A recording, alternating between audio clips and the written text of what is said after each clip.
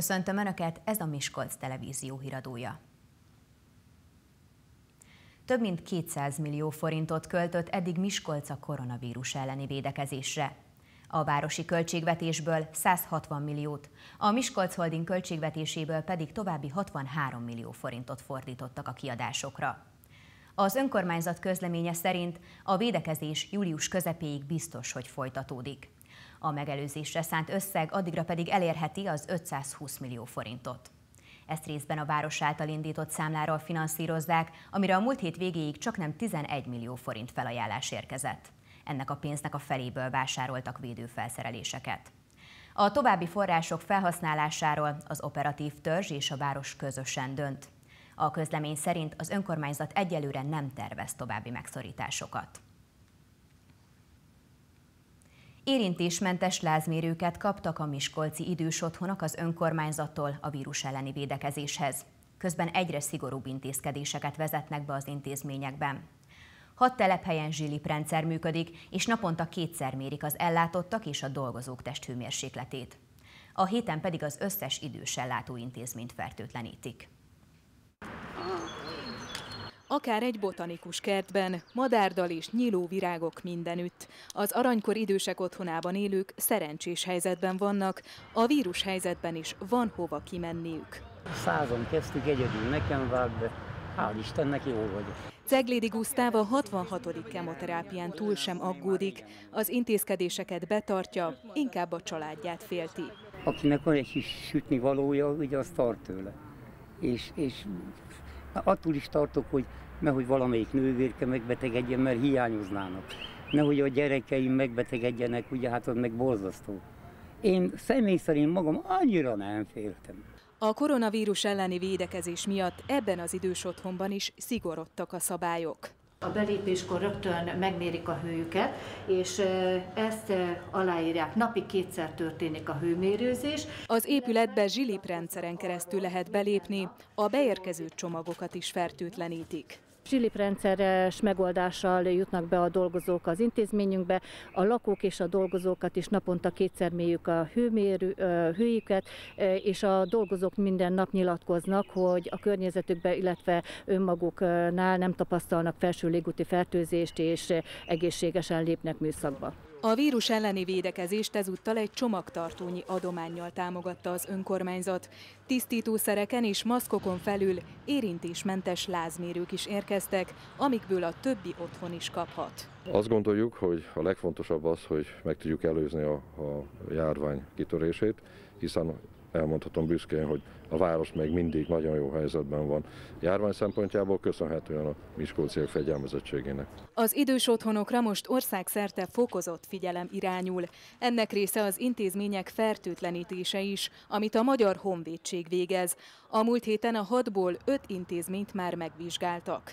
Az öt egységet áttekintettük, ö, közösen bejártuk a katonaság munkatársaival, és gyakorlatilag két gondozóházunkban a, a múlt héten az Észak-Kilián és az Aranyalkony gondozóházakban megtört, meg is történt ez a fertőtlenítés. Az otthonok fertőtlenítése ezen a héten a katonassággal együttműködve szakaszosan folytatódik.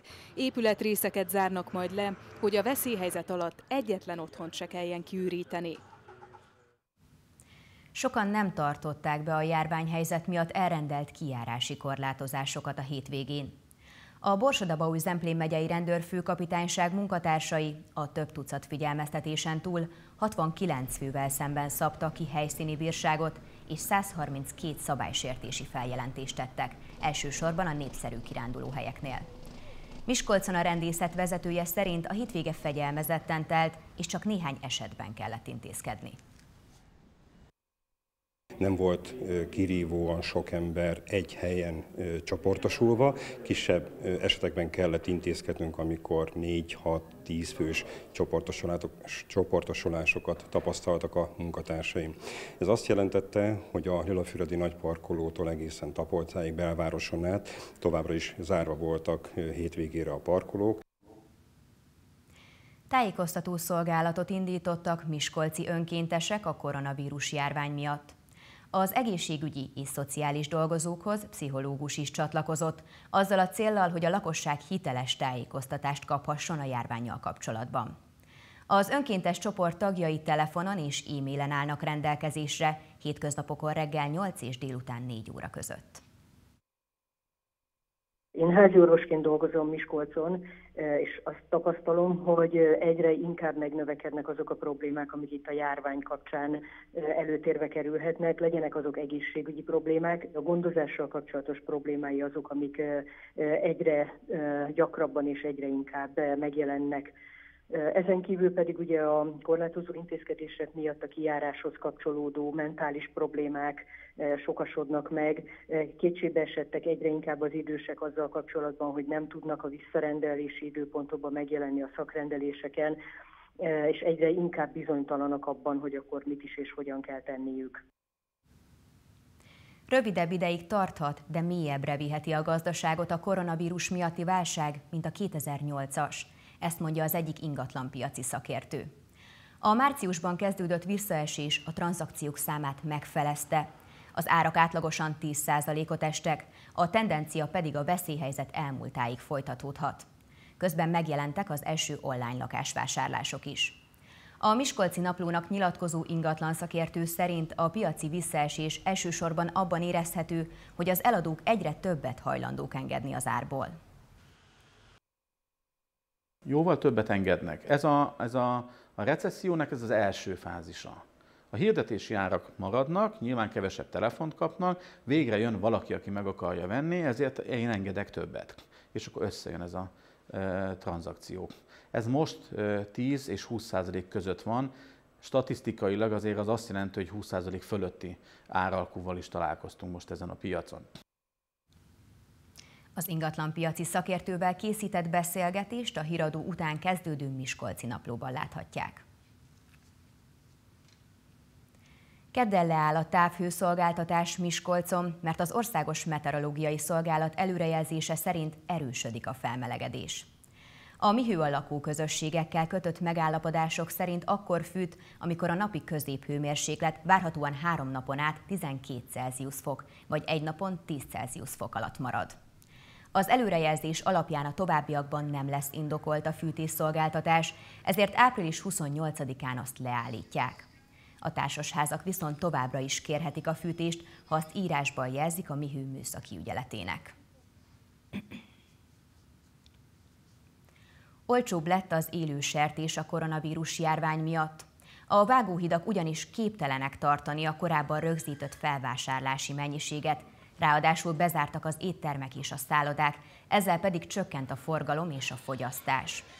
A vágóállat és hús szakmaközi szervezet álláspontja szerint a veszteséget a vágóhidak az állattartókra terhelnék. Februárban egyébként a vágósertés felvásárlási ára még csak nem 50%-kal haladta meg az egy évvel korábbit. Újra koncertezett az Agyakbanda. A Miskolci zenekar arra vállalkozott, hogy becsempészi a zenét az idős otthonokba.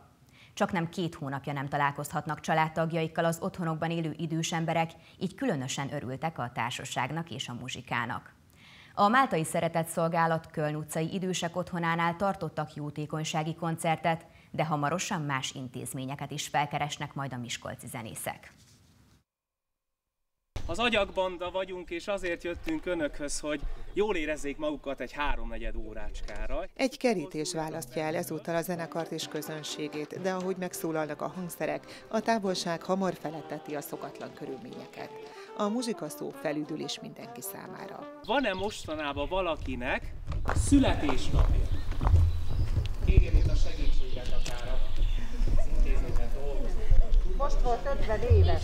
Volt, van egy születésnapos, nagyon jó, és önök között, aki mostanában, vagy ebben a hónapban.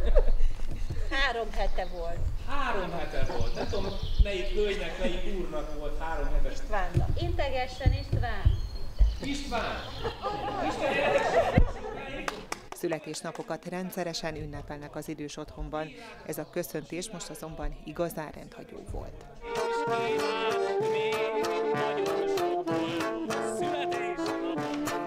Lassan két hónapja vannak a családtagoktól elzárva itt is az idősek. A jó idő ellenére is csak ritkán tudnak így együtt lenni. Főként kis csoportos foglalkozásokat tartanak, a rokonokkal is csak telefonon és videókapcsolaton keresztül tarthatják a kapcsolatot. Egy jó ideje pedig még csomagokat sem fogadhatnak. Próbáltuk ezt is enyhíteni azzal, hogy mi készítettünk nekik itt helyben, akár palacsinta sütés vagy egyéb más dologgal, de nyilván nem pótolja a hazai ízeket, illetve a látvány, az ölelés hiánya, ez a személyes találkozás az nagyon hiányzik nekik. De viszonylag jól fogadják egyébként. Az agyagbanda sem koncertezik mostanában. Ahogy a zenekar vezetője mondja, nekik is hiányzik, hogy újra kérjék tőlük a nótákat. Gyakran jártak korábban is idősek között, ezért is döntöttek úgy, hogy ellátogatnak oda, ahol szerintük most a legnagyobb szükség lehet rájuk. Nyilván ez most egy nagyon-nagyon nehéz helyzetben lévő uh, társadalmi csoport.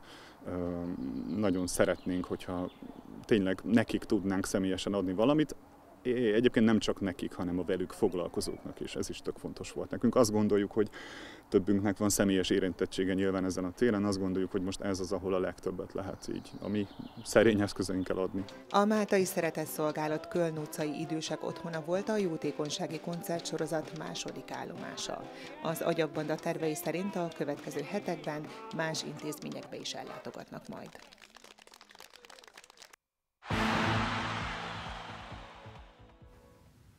Szerdán az enyéni edzésprogram után elkezdődnek a csoportos tréningek a DVTK labdarúgói számára. A Magyar Labdarúgó Szövetség rendelkezése szerint kis csoportos foglalkozásokkal kezdődhet újra a munka az NB1 csapatainál, így a DVTK-nál is. A tervek szerint a 20 napos felkészülést követően május 23-a vagy 27-e lehet az első játéknap a hazai élvonalban. Szerdától újraindul a munka a DVTK labdarúgói számára, újra benépesül a sokáig csendes edzőközpont és a stadion is. A koronavírus járvány miatt hetekig szünetelő hazai sportéletben elkezdik tehát a munkát az NB1-es keretjátékosai szigorú egészségügyi rendelkezések közepette. A Magyar Labdarúgó Szövetség vezetői és a klub tulajdonosok videókonferenciáján az a megállapodás született, hogy amennyiben a vírushelyzet lehetővé teszi, akkor május 23-án vagy 27-én újraindul a bajnokság. Erre mi is változtattunk a felkészülésen, hiszen még az elmúlt héten egyénileg készültek a játékosok. Ezen a héten már holnapi nap egy orvosvizsgálattal, koronavírus tesztel, illetve a szerdai naptól pedig bontott csoportos foglalkozással készülnek a játékosok és a szakmai stáb. A DVTK sportigazgatója hozzátette, nem könnyíti meg a csapatok helyzetét, hogy a kényszerszünetet követően egy feszesebb tempójú lebonyolításra kell készülni, vagyis arra számítanak az érintettek, hogy a hosszabb egyéni készüléseket követően intenzív versenyidőszak következik majd. Vagyis szerda szombat ritmusban mennek majd a labdarúgó bajnokik. Nyilván akkor végezzük jól a munkánkat, hogyha a legkisebb törés nélkül, tehát vagyis a teljesítményben ugyanazok a pozitív elemek fognak megjelenni, ami, ami korábban is jellemző volt a bajnokságban, hiszen a, a csapatunk egy folyamatos fejlődésen ment keresztül, ragyogóan teljesített a tavasszal, bízunk benne, hogy a folytatás is hasonló lesz. A folytatásban a tervek szerint a Miskolci Klub szakmai vezetése rendszeres megbeszéléseket tartva igyekszik majd kezelni a helyzetet, vagy ha kell olyan változtatásokat végrehajtani, ami a legjobb irányba tereli majd a csapat felkészülését a bajnoki rajtra. Éjjel csapadék érgezik, a következő napokban pedig esős és napsütéses időszakok váltják majd egymást. Részletek hamarosan az időjárás jelentésben. Majd kezdődik a Miskolci napló, amiben szó lesz az ingatlanpiaci helyzetről, és egy különleges karanténkoncertet is megmutatunk. Híradóval holnap este 6 órakor jelentkezünk legközelebb, előtte 17 órától pedig a Hashtag Érettségi című műsorunkat láthatják. Videóinkat a minap.hu-n újra nézhetik, és írhatnak is nekünk észrevételeiket az infokukacmikon.hu e-mail címre várjuk. Kollégáim nevében is köszönöm figyelmüket, aki teheti maradjon otthon és vigyázzanak egymásra. Szép estét kívánok!